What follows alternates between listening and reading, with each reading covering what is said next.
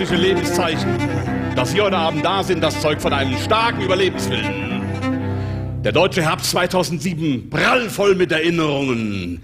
40 Jahre Benno Ohnesorg, der Schar in der Oper, 30 Jahre Mogadischu, Stammheim, Raff, 20 Jahre Barschel, Borivac, Badewanne. Und 10 Jahre Sabine Christiansen. Oh, 10 Jahre. Das haben wir zehn Jahre ertragen, jeden Sonntagabend. Deutschland am Abgrund jeden Sonntagabend das ARD Ersatzparlament mit einer Möchtegern Cassandra in Chrom und Creme und immer die Beine schräg. Unglaublich, jetzt ist es ja vorbei, jetzt kann man ja sagen, Frau Christiansen war ferngesteuert.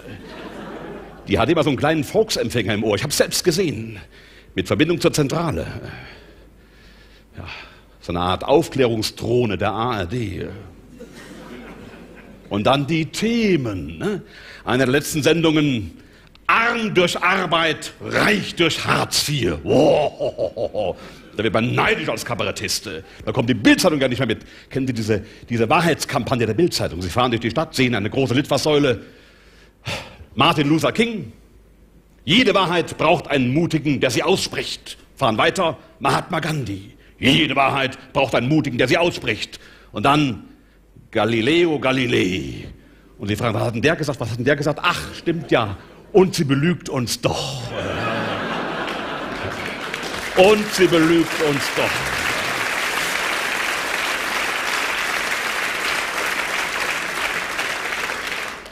Dass ich heute Abend hier am 11. September 9-11 auf dem Lerchenberg stehe, kann kein Zufall sein, meine Damen und Herren. Da sind gewisse Kräfte im Spiel. Von hier von hier aus, vom Lerchenberg, kann man das Ende der Ära Bush sehr, sehr gut beobachten.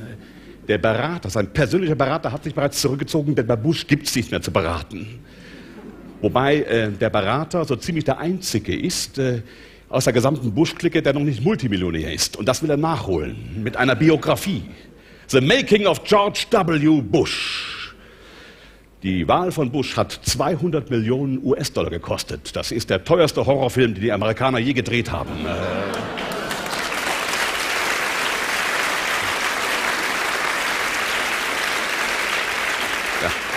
Und der Bush hat das alles wieder eingespielt.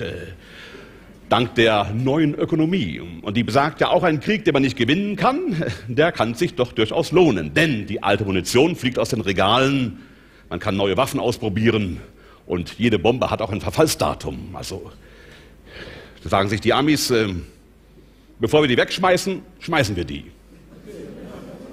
Das ist auch ökologisch gedacht, oder?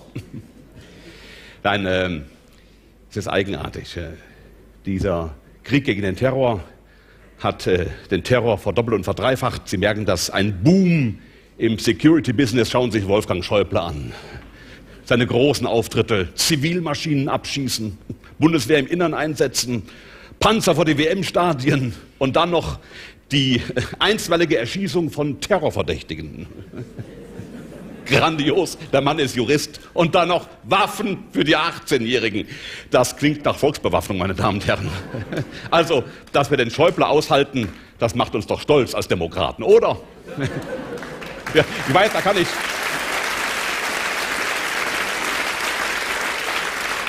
Ich weiß, da kann nicht jeder klatschen, das macht doch gar nichts, aber Schäuble ist einfach Pflicht im Kabarett, meine Damen und Herren, genau wie Merkel. Sehen Sie, der Anschlag auf das World Trade Center war diabolisch, abgrundböse. Und die Amerikaner haben geantwortet mit einer Demokratieoffensive. Der Krieg gegen den Irak, das war so eine Art, äh, haben Sie selbst gesagt, Demokratieexport. Wobei man fragen muss, haben die Amis wirklich so viel Demokratie, dass sie exportieren können?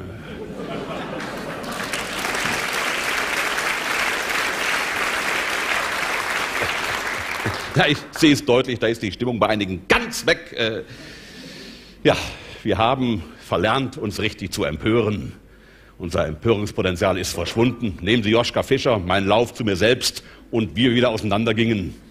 Äh,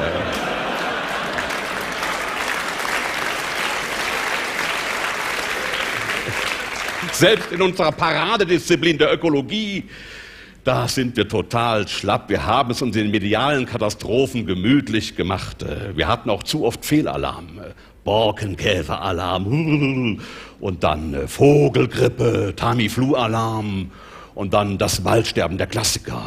Da hatten die Franzosen gar kein Wort dafür, die waren beeindruckt. Le Waldsterben, oh la la la la. Le Waldsterben. En France, on ne connaît pas le Waldsterben. Das war unser Schlager, das Waldsterben. Und heute, nach 20 Jahren Waldsterben, da sagen die Franzosen, oh, le Waldsterben, c'est Mausetote.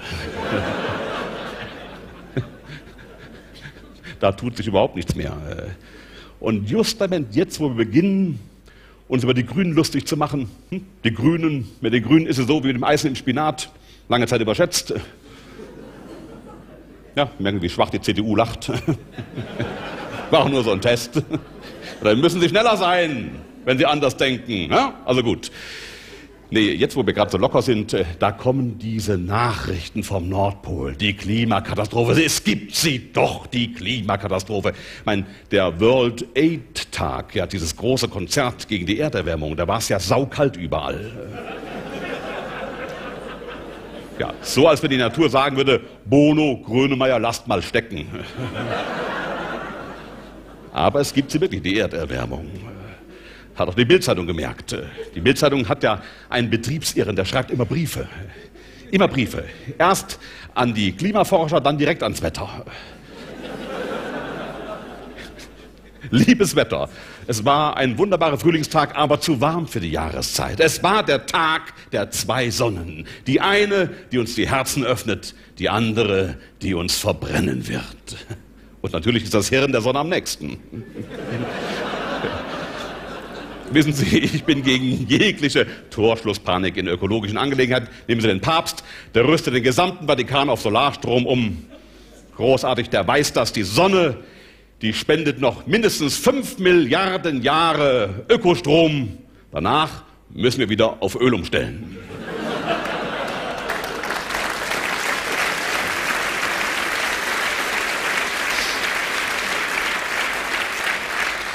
Sehen Sie, wenn ich mir so die ersten Reihen ansehe, da träume ich manchmal davon, den Beruf zu wechseln. Jede Menge Beratungsbedarf in den Gesichtern festgeschrieben. Auch in der Politik, äh, bei der SPD sowieso. Schauen Sie mal den Kurt Beck an. Der braucht jemanden, der ihm dringend mal an der Sprache feilt. Jemand, der hinter ihm steht, bedingungslos hinter ihm steht und bei Gelegenheit auch mal den Mund zuhält. Ja, wenn Sie Gewaschen ist er ja, rasieren müsste er sich noch.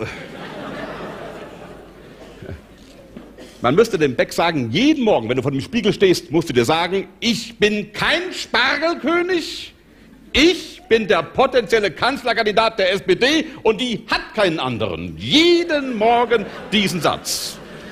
Und eine Grundregel lautet, nicht immer gleich anfangen zu reden, wenn irgendwo eine Kamera aufgebaut wird. Auch mal schweigen können. Auf jeden Fall. Meine, der Beck hat natürlich Pech gehabt. Er wollte Weltinnenpolitik betreiben, ist nach Afghanistan geflogen, so intuitiv reagiert, hat gesagt, man müsste mal mit den Taliban reden, jedenfalls mit den Gemäßigten. Riesenhohn Gelächter an der Heimatfront. Ja, ja, ja, am besten bei einem Gläschen Pfälzer Wein. Mit der Schwäbischen Eisenbahn fahren wir nach den Taliban. Na, nee, mit der Schwäbischen Eisenbahn fahren wir nach Afghanistan. Ich hab schon den Turban an. Auf geht's zu den Taliban. Mullah, Mullah, Mullah, hey, Mullah, Mullah, Mullah, hey, auf geht's nach Afghanistan, rückwärts dann durch den Iran. Badam, badam, badam. Ja.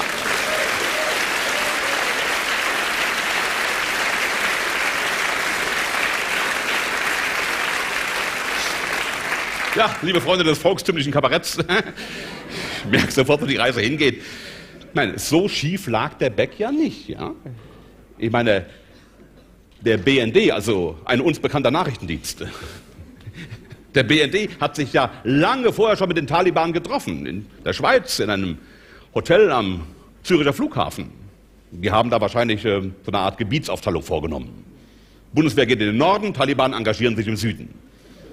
Und der Struck, der Struck von der SPD, genial, der hat sofort das staatsmännisch gewendet. Deutschland muss am Hindukusch verteidigt werden. Das klingt doch nach Kaiser Wilhelm, oder? Deutschland muss am Hindukusch verteidigt werden. Warum? weil es da landschaftlich angenehmer ist. Und außerdem verträgt eine Zivilgesellschaft nur eine begrenzte Anzahl an toten Soldaten. Es reicht doch, wenn wir unsere äh, Tornados schicken.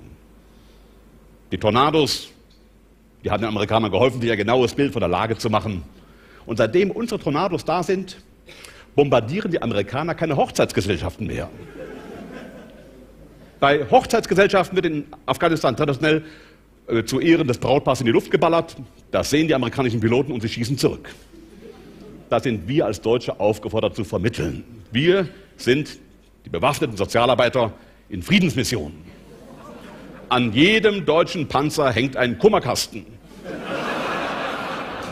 in den die Taliban, äh, Entschuldigung, in den die Afghanen Beschwerden einwerfen können, wenn deutsche Soldaten Totenköpfe ausbuddeln um den Panzer zu dekorieren. Gab einen riesen Ärger, konnten wir gerade noch mal abbieten. Die wollten nur spielen, Hamlet.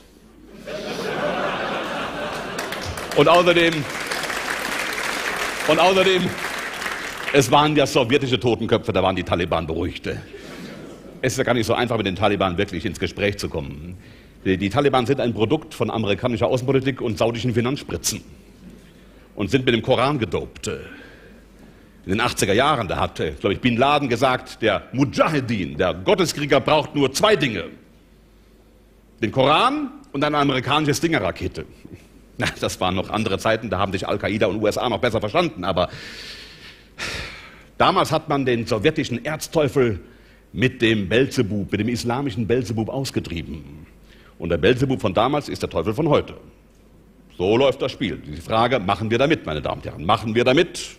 wir haben ja nicht die geistliche Beweglichkeit, wir haben nicht die geistliche Beweglichkeit von Schollatur. Ja, der sagt ja, es gibt nur eine Lösung. Eine große Militärparade in Kabul und dann nichts wie raus aus Afghanistan. Ja, das müsste man mal dem Beck sagen. Herr Beck, Herr Beck, wenn Sie nochmal nach Afghanistan reisen, denken Sie daran. In Afghanistan ist die Sowjetunion gescheitert. In Afghanistan ist das große Britannien gescheitert. In Afghanistan wird auch Rheinland-Pfalz scheitern.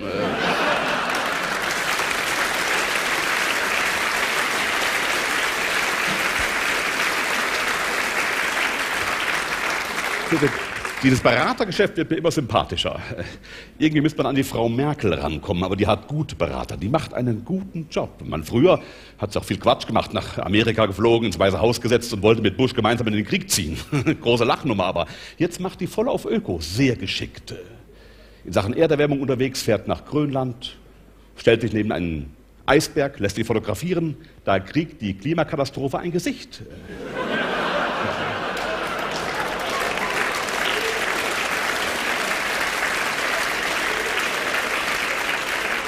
Die Welt steht da im Friesenmärz mit kaltem Kopf, mit kühlem Kopf und kaltem Herz. Ja, die Welt steht da im Friesenmärz mit kühlem Kopf und kaltem Herz. Das ist schon bedrohlich. Wenn der arktische Kühlschrank abtaut, dann wird Sylt noch exklusiver, weil der Meeresspiegel steigt. Und am Nordpol kein Eis mehr ist, dann verkürzt sich der Seeweg von Russland nach Amerika um ein Vielfaches. Da könnten die chinesische, die russische und die amerikanische Marine sich am Nordpol treffen. Also eine vollkommen komplette veränderte Weltlage. Bin mir sicher, Frau Merkel wird auch diesen Fall meistern. Sie schafft das. Sich raushalten und trotzdem mitmischen. Nehmen Sie mal den Libanon. Da haben wir eine hochmoderne Flotte hingeschickt. Hochmodern. Die liegt da vor der libanesischen Küste und die darf nichts machen. Wir dürfen nicht mal in die Sechs-Meilen-Zone reinfahren. Wir könnten ja mit einem Waffentransporter kollidieren oder mit einem, kind, mit einem, mit einem vielleicht mit einem israelischen U-Boot deutscher Bauart. Ja, die Flotte, die dümpelt da vor sich hin. Wenn ich ab und zu ein israelischer Kampfjet vorbeigeflogen käme für einen Scheinangriff, wäre es totlangweilig. Man muss die Israelis verstehen, da unten, da schwimmt die Mecklenburg-Vorpommern. Die modernste Fregatte der Welt nach Angela Merkel.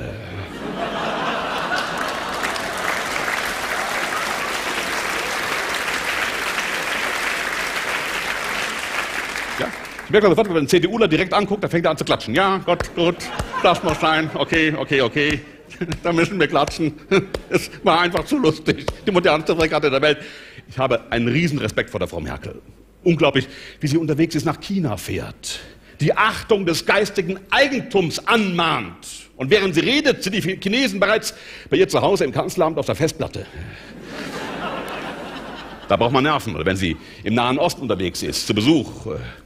Im Nahen Osten, Israel, Palästina, wenn sie mit Olmert spricht, da muss jeder Satz sitzen. Umgekehrt ja nicht. Ja? Da kommt der Olmert nach Berlin, sagt bei der Pressekonferenz, übrigens, wir haben die Atombombe. Was, sagt die Merkel, ihr habt die Atombombe. Da sagt der Olmert sehr charmant, ja, dann eben nicht. ja, dann eben nicht. Ist doch genial. Ja, was da oben fehlt, kann man mit Charmanz ausgleichen. Nein, wir haben sie doch nicht. Na Gott sei Dank, sagt Frau Merkel. Dann darf der Iran sie ja auch nicht haben. Der darf sie sowieso nicht haben. Die Bombe in den Hand von Muslimen. Stellen Sie mal vor, die Pakistani hätten die Atombombe. Unglaublich. Hm? Ja, Sie merken, stimmt's jetzt? Haben Sie es oder haben Sie es nicht? Das ist eine Günther Jauch-Frage, könnte man sagen. Ich würde Ihnen den Telefonjoker empfehlen. Rufen Sie an, am besten beim Kernforschungszentrum in Jülich. Die hatten in den 80er Jahren etwa 50 pakistanische Azubis. Auch wenn Sie sich fragen, Moment mal, wir haben doch den Atomsperrvertrag unterschrieben. Ja, ja, das ist so wie bei den Japanern und dem Walfang. Die, ja, die, Sie waren schneller als ich, verdammt nochmal. Sie denken aber mit, das haben Sie am Bildschirm gar nicht gehört. Der Mann hat gerufen, zu Forschungszwecken, meine Pointe kaputt gemacht. Da? Das sind Leute, die kommen extra, die haben geübt, die kennen das Programm. Ja, ja.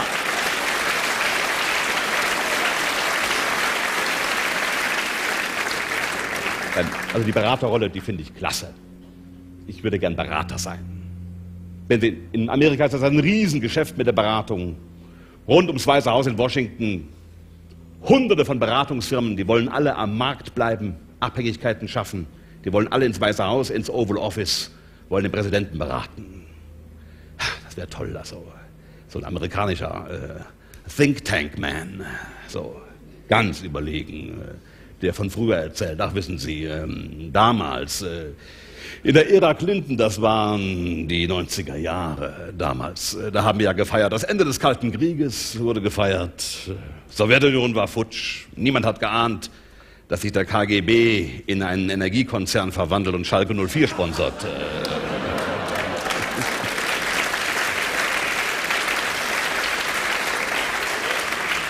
It was party time. It was party time. Und der Clinton war der richtige Präsident für diese Zeit. Saxophon, Oval Office, Oral Office, Entschuldigung. Und, äh, und die Zigarrenaffäre, das war ja großartig. Und damals, als Clinton noch mit Ihnen gemeinsam gefeiert hat, äh, da hatten wir im Think Tank bereits den Irakkrieg in der Pipeline, verstehen Sie, äh, als Komplettpaket. Das haben wir dann an Bush verkauft. Äh. Weil der saß im Weißen Haus hat sich die Landkarte angesehen mit dem Finger bis zum Irak und hat gefragt, äh, wie konnte das passieren, dass unser Öl unter deren Sand geraten ist?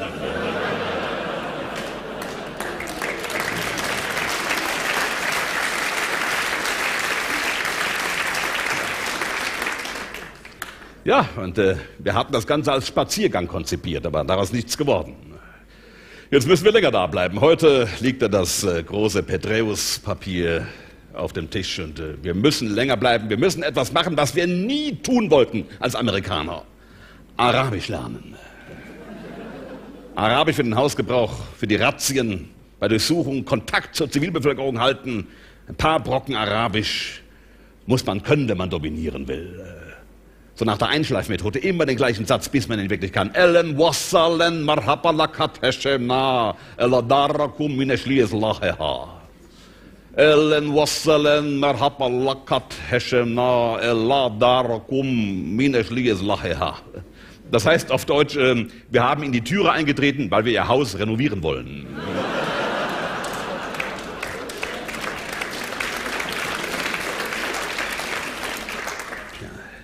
ist unglaublich. Äh, meine, die äh, britischen Generäle, die haben gesagt, äh, dieser Krieg der Amerikaner sei ein intellektuelles Desaster. Man hat viel zu spät die Strategie geändert. das Feldhandbuch, die Gebrauchsanweisung für den Krieg für den einfachen Soldaten. Da hat man dann ostasiatische Weisheiten eingefügt. Zum Beispiel, oft ist es besser, nichts zu tun, als überall zu handeln. So wurden schon chinesische Kaiser beraten. Und dann der berühmte Satz, setze dich an das Ufer des großen Stromes und warte, bis die Leiche deines Feindes vorbeischwimmt. Äh, natürlich blöd, wenn es die eigenen Leute sind, die da runterschwimmen. Äh, da muss der Präsident hart bleiben. Da muss er sagen, wir trauern um jeden Einzelnen, aber die Gesamtzahl spielt keine Rolle. Hat der Bush ja auch gesagt, aber wir haben ihn erst dahin bringen müssen. Wir haben ihn nach Afghanistan geflogen, an die pakistanische Grenze auf einen alten britischen Soldatenfriedhof. Und sind da rumgelaufen, haben uns die Grabstände angesehen, wunderbare Inschriften, Gedichte, sehr stilvoll, leicht verwittert. Da hat er gefragt, was soll das? Da habe ich gesagt, Mr. President, nur damit Sie einen Eindruck bekommen, wie es ist, wenn man länger in einem Land bleiben muss als ursprünglich geplant.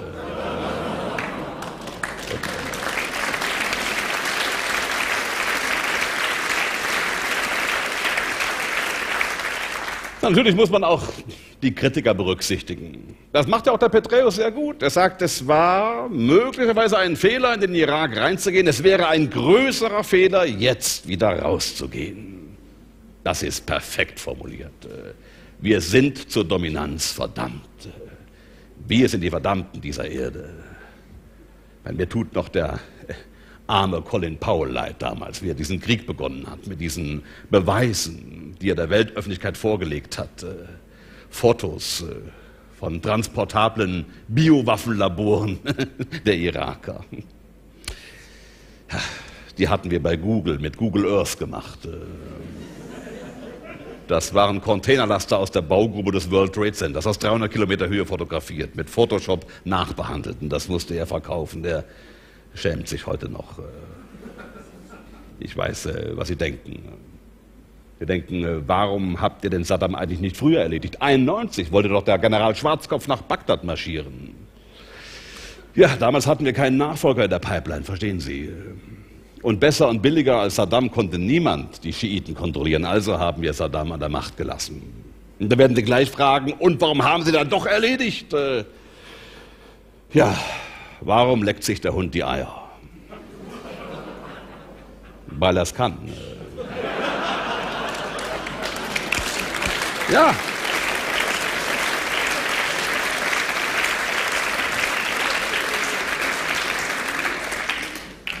Es war gar nicht so leicht, Saddam zu erledigen. Er war ein Schweinehund, aber er war unser Schweinehund. Er hat Rumsfeld des Öfteren die Hand geschüttelt. Lässt man so jemand hängen? Auf jeden Fall, bevor er seine Memoiren schreibt. Äh, da kommen wir alle drin vor und ziemlich schlecht weg. Äh, nein, nein, er musste hängen.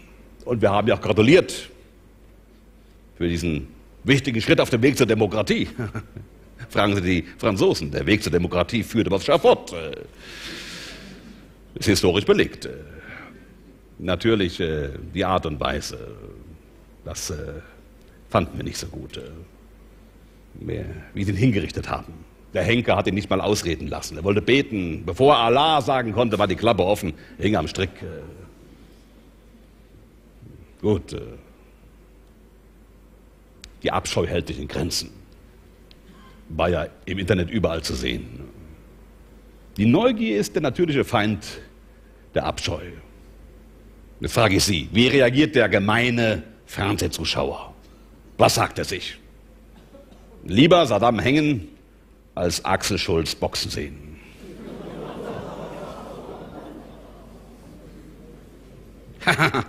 hm? Jetzt ist die Stimmung aber unten, oder? Einige schauen ganz betreten. Aha, das ist also Kabarett, interessant. Ich kenne Ihre Depressionen. Sie sollen die meinigen kennenlernen. Nein, ich hole Sie da raus, ich hole Sie da raus. Das gemeine Fernsehpublikum, Sie gehören nicht dazu. Nein, wir machen ja hier Premium-TV. Wissen Sie, die Demokratie unterwirft sich der Mehrheit, lebt aber von den Minderheiten. Wer, die, wer alle erreichen will, muss auf den Sinn verzichten. Können Sie mir noch irgendwie folgen?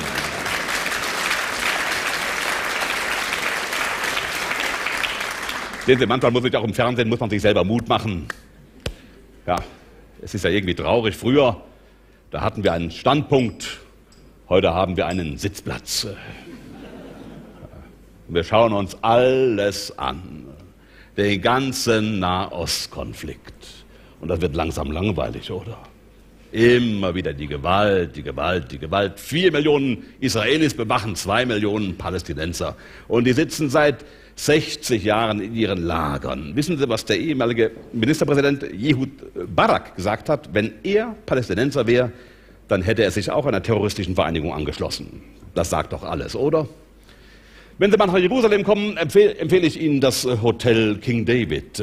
Da können Sie im Hotelvideo sehen, die sind stolz darauf, das einzige Hotel der Welt zu sein, was von einem späteren Ministerpräsidenten in die Luft gesprengt wurde. Menachem Begin, erst Terrorist, dann Ministerpräsident und dann Friedensnobelpreisträger. Yassir Arafat, erst Terrorist, dann Staatsmann, dann Friedensnobelpreisträger. Ich meine, der, der Kohl will ja auch Friedensnobelpreisträger werden. Ja. Wenn man ihm das vorhält, der hat doch gar nichts gemacht, der Kohl. Deutsche Einheit ist doch kein Verbrechen, oder?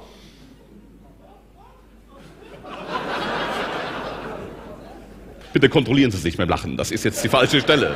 Sie kompromittieren mich ja. Das Lachen an der Stelle, es war gefährlich, das gebe ich zu. Nein, äh, nee, nee, nee. Äh, den Friedensnobelpreis hat Daniel Barenboim verdient. Eine geniale Idee, ein jüdisch-palästinensisches Orchester zu gründen. Das finde ich toll, mutig. Juden und Araber spielen gemeinsam Mozart, Beethoven und Wagner. Das wäre doch klasse, wenn die Palästinenser in einem Anfall von Liberalität den Daniel Barenboim auf den Tempelberg einladen würden, in die Al-Aqsa-Moschee. Weltfriedenskonzert. Barenboim dirigiert die Ouvertüre zur Götterdämmerung.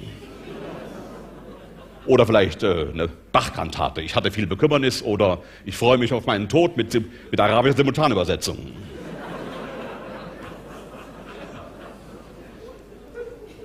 wirken lassen, wirken lassen.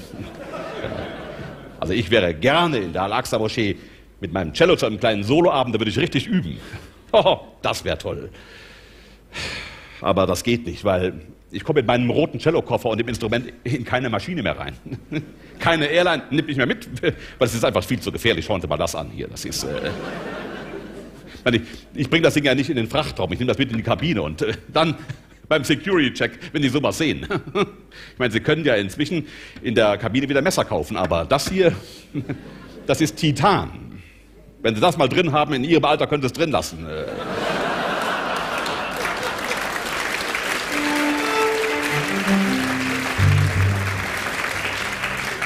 Unglaublich. Ja.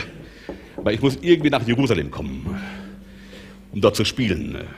Irgendwie. Allein schon wegen der Akustik. Die muss ja wahnsinnig sein in der Al-Aqsa-Moschee.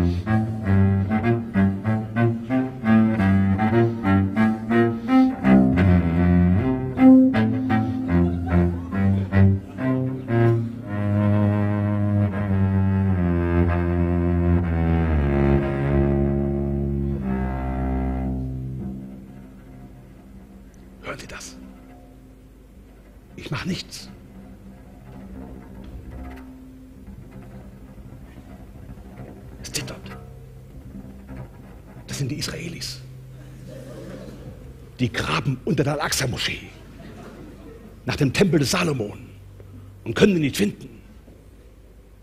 Da haben die Araber Angst, dass die Al-Aqsa-Moschee äh, beschädigt wird und beim nächsten Erdbeben die Grätsche macht. Dann wäre ein Bauplatz da. Dann kommen nicht die Griechen, nein, nein, nein, nein, nein. Dann kommen die großen amerikanischen Baufirmen, weil die Adventisten in den USA haben bereits gesammelt eine Viertelmilliarde US-Dollar für den Wiederaufbau des Tempels.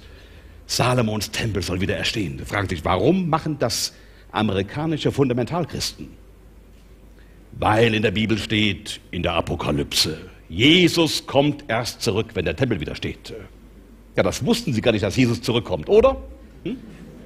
Hier, die Karteileichen des Abendlandes. Keine Ahnung von der Bibel. Apokalypse in jedem guten Hotel, in der Nachttischschublade, die Apokalypse. In der Bibel. Da steht's drin. Und die sammeln. Für Armageddon und den Tag, wo Jesus zurückkommt. Und der Messias wird ja auch in Jerusalem erwartet. In Jerusalem warten die drei großen Weltreligionen auf die Wiederkehr ihres geistlichen Anführers. Das Problem ist nur, wenn Jesus früher kommt als der Messias, das wird schwer. Weil Jesus wird zu Gericht sitzen, wie es in der Apokalypse steht. Und dann wird er die Juden fragen, wollt ihr Christen werden? Wenn nein, dann müssen sie in die Hölle. Die großen monotheistischen Religionen haben ihre Hölle zunächst mal für die Andersgläubigen reserviert. Jeder von uns kommt in irgendeine Hölle. Also wenn Sie in die katholische Hölle wollen, sollten Sie rechtzeitig zum Islam übertreten. Gut, dann kriegen Sie Besuch von Schäuble. Dann wird Sie fragen, wohin sind Sie ausgetreten? Und sagt er, ich möchte nur in die katholische Hölle. Dann gibt er auf. Ja. Gut, wenn Sie jetzt äh, gar nichts sind, also quasi Atheist, so, ja, dann könnte ich die Hölle wahrscheinlich selber aussuchen. Stiftung Warentest, Höllen im Vergleich.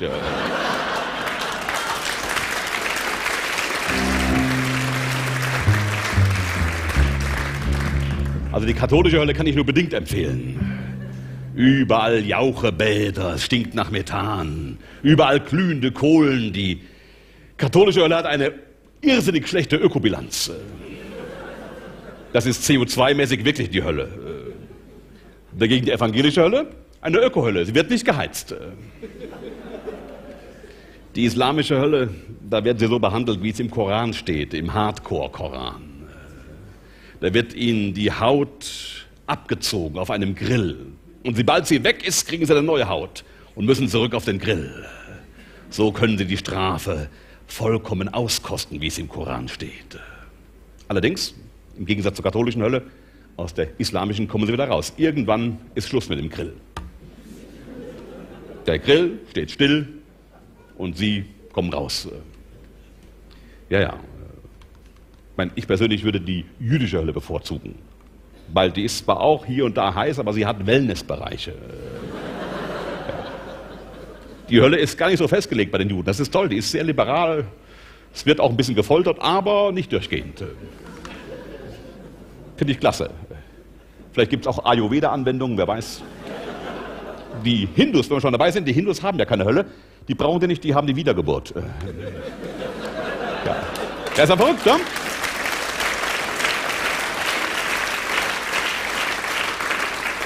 Ähnlich wie die Buddhisten. Und das würde mich mal interessieren. Das wäre eine wunderbar höllentheologische Frage für den Papst. In welche Hölle kommt eigentlich der Dalai Lama? Ich würde sagen, in keine. Also, denn mit seinem ständigen Lachen treibt der Dalai Lama jeden Teufel in den Wahnsinn.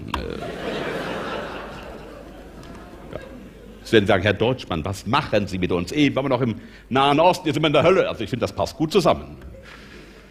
Wie meine Oma immer gesagt hat, der Weg zur Hölle ist mit guten Vorsätzen gepflastert. Ja, wissen Sie was, ich glaube, das Nahostproblem, was wir eben angerissen haben, das äh, wird deshalb nicht gelöst, weil es sich bewährt hat. Das wird Ihnen jeder Waffenhändler bestätigen. Aber demnächst gibt es ja die große Friedenskonferenz. Mensch, der Arafat ist als Milliardär gestorben, aber was nützen seinem Volk die Millionen auf Schweizer Konten? Traurig, traurig. Man müsste irgendwie an dieses Geld rankommen, eine Stiftung gründen. Wir Deutschen müssten was machen. Wir müssten sagen, passt mal auf, liebe Israelis, liebe Palästinenser, äh, es ist sowieso viel zu eng, viel zu heiß, viel zu staubig da unten. Wenn, wenn ihr keine Lust mehr habt, kommt einfach zu uns. Wir bieten euch Lebensraum im Osten. Wir haben ein ganzes Bundesland für euch reserviert. Mecklenburg-Vorpommern. Es ist nicht das Land, wo Milch und Honig sprießen. Nein, es ist das Land, wo Nazi-Glatzen sprießen. Aber wenn ihr kommen würdet, ihr würdet uns einen Gefallen tun, wenn ihr die da abräumt, also äh, die Glatzen. Ja, nicht ohne Eigennutz, aber gut, die Israelis werden wahrscheinlich nicht kommen, aber wenn die Palästinenser kämen, das ist doch, es geht doch vor allen Dingen darum, dass den jungen Menschen im Gazastreifen, diesen jungen, radikalen, pubertierenden Männern, dass denen die Kalaschnikow aus der Hand genommen wird. Da müsste man sagen, wir machen eine Stiftung. Jeder Palästinenser, der die Kalaschnikow abgibt und eine Geige nimmt, kriegt von uns erstmal so eine Art Rente. Eine Art Stipendium. Man könnte sagen, sobald ein Palästinenser eine C-Dur-Tonleiter auf der Geige sauber spielt, kriegt er eine Einreisegenehmigung nach Deutschland, Stipendium, sagen wir in Heiligendamm. Die würden üben wie die Teufel, würde ich sagen. Könnt ihr vorstellen, wenn da die ersten Flugzeuge mit jungen palästinensischen Geigern kämen. Alles gut aussehende junge Leute mit einer schwarzen Sonnenbrille und einem Geigenkasten unterm Arm, die sich zu Tausenden durch den deutschen Zoll zwängen. Und dann möchte ich das Gesicht von Wolfgang Schäuble sehen.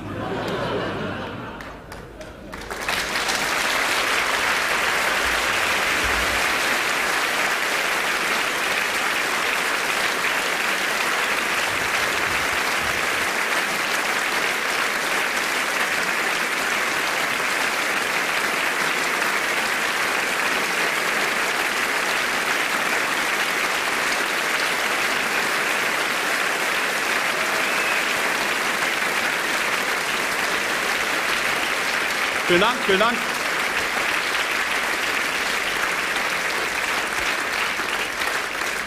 Damen und Herren, der Wunsch nach einer Zugabe lässt die Vermutung auftreten, ich hätte nicht alles gegeben. Sie drängen mich zum Äußersten. Ja, man merkt, wenn man älter wird, ja, man, man muss sein Langzeitgedächtnis aktivieren. Tagespolitik ist nicht mehr so wichtig, aber die Jubiläen, die Erinnerungen an andere Zeiten, wir leben ja am Ende einer Epoche. Schauen Sie mal, die alten Nazis verschwinden biologisch, die letzten sind fast schon weg. Gleichzeitig äh, kommen die letzten Irrläufer von 68 aus dem Knast. Die Bildzeitung hält das nicht aus. Äh, der, der, der Wagner, der schreibt an die Mohnhaupt, äh, Frau Mohnhaupt, Sie kommen jetzt raus. Das heißt, Sie werden lernen, wie man mit einer Scheckkarte das Geld von der Bank holt. Hat die RAF früher immer ohne Scheckkarte geschafft. Und sie werden lernen, wie man mit dem Handy telefoniert. All das ist nur möglich, weil wir in einem Land leben, wo Mörder frei herumlaufen dürfen. Ja, mein Gott, Herr Wagner, sind wir doch gewöhnt seit 45. Liefen die Mörder bei uns frei rum. Gut, es gab eine Ausreisewelle nach Argentinien, aber.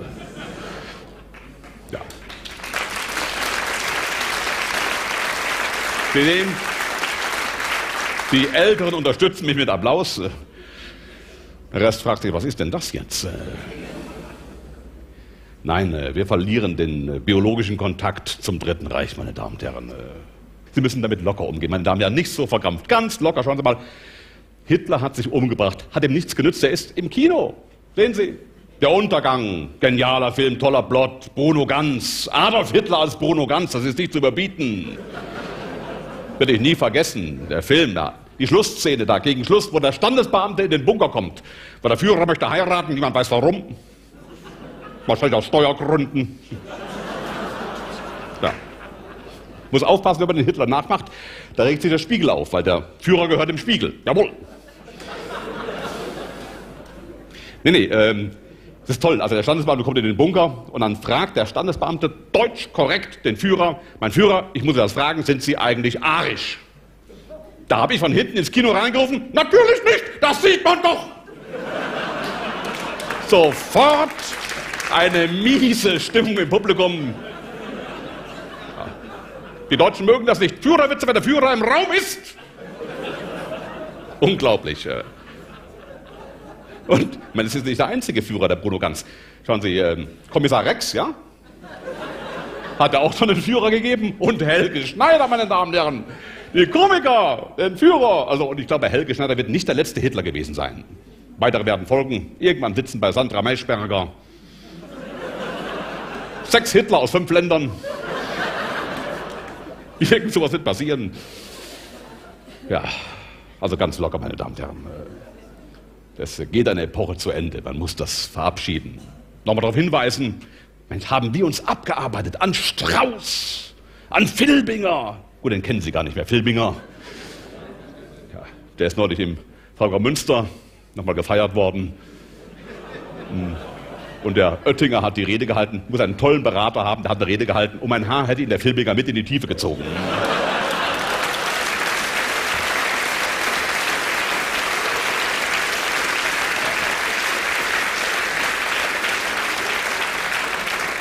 Und damit dem Land einen letzten Dienst erwiesen. Aber ja, meine Damen und Herren, ich merke das bei Ihnen. Klare Aussagen, klarer Applaus. That's our deal, okay. Aber ich sehe jüngere Leute, die schauen mich mit großen Augen an. Hä? Filbinger, lauter Fremdwörter. Ich kann mir gar nichts merken. Also ist eben eine andere Zeit. Sondern damals, 60er Jahre, da gab es noch Robert Lemke im Fernsehen. Kennen Sie Robert Lemke? Das war der Vorläufer von Harald Schmidt. Ja, doch, doch, wirklich. Sie glauben mir das nicht, aber doch, das ist einfache Abendunterhaltung, wirklich große Abendunterhaltung mit einfachen Mitteln, wollte ich sagen. Ja. Ein Hund, ein Kassengestell, vier Schweinchen und schon ging's los. Mit einem Top-Rateteam nicht so wie heute. Nee, nee, nee, ein Top-Radeteam. Annette von Aretin steif bis oben hin. Guido Baumann, der Fuchs aus der Schweiz. Dann der Staatsanwalt aus Nürnberg, Hans Sachs mit der lustigen Krawatte, mit dem Propeller. Und natürlich Marianne Koch mit der Goldkante, werde ich nie vergessen. Marianne Koch mit der Goldkante. Und äh, dann war immer die Frage von Robert Lemke, welcher Schweindall darf es dann sein?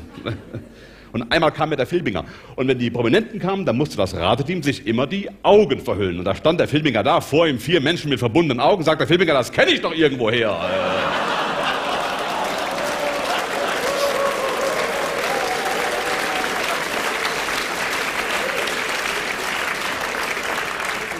Und dann fragt der Robert Lemke, welches Schwein darf es dann sein?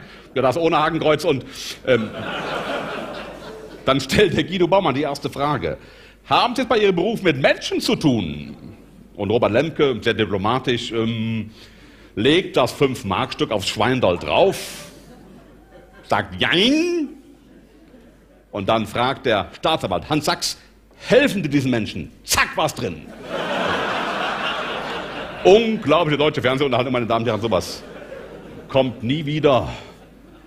Und ich finde es toll, dass Sie in Mainz auf dem Lerchenberg äh, die volle Kraft der Erinnerung nochmal zugeschlagen hat. Tschüss.